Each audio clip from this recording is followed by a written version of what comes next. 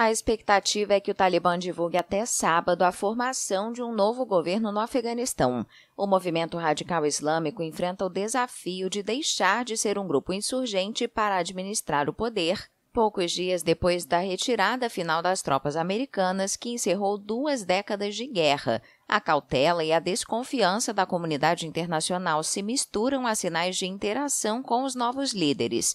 O presidente russo Vladimir Putin afirmou nesta sexta-feira que as relações internacionais com Cabul acontecerão se o Talibã agir de forma civilizada.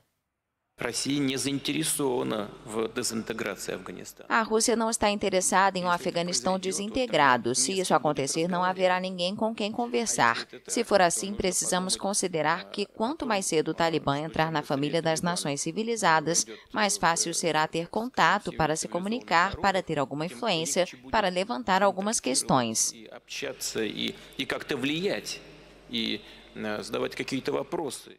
As Nações Unidas anunciaram a retomada de seus voos humanitários que partirão do Paquistão para as cidades de Mazar-e-Sharif e Kandahar.